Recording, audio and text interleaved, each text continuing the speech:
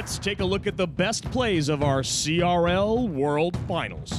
This balloon play by Booya was huge. In Game 5 of King of the Hill, he recognized that Royal had played the Mega Minion and the Tombstone was out of cycle early on, so he snuck the balloon in down the right hand side, taking an early tower, and this basically sealed the victory and put PONOS Sports in the semi-finals in front of their home Japan crowd. No question, Rich. Our next play is pretty crazy. So King had a tough day at the seeding tournament, but came out first for Team Queso in King of the Hill. And boy, did he come back strong.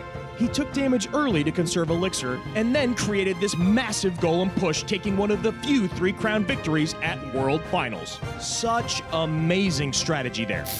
Speaking of strategy, Andrew, this was huge by Expo Master, waiting until the final moments of regulation to expose that clone spell. The big Golem Bat push takes tower and helps seal a victory for Kingzone Dragon X.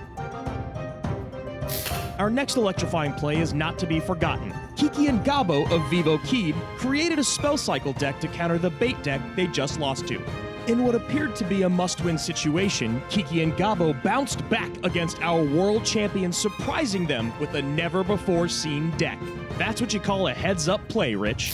And finally, here's the play that sealed the world championship for Nova Esports Javi 14 versus Lciop, set number four of our final round. Javi 14 trying to get back in it, but the tornado takes the miner to activate the King Tower, and now Lciop recognizes that the defensive troops for the ground are not there for Javi 14, drops the Hog Rider, and a beautiful prediction log takes out the Tombstone, and that is it. Lciop seals the first ever CRL World Championship for Nova Esports, taking the crown back to China.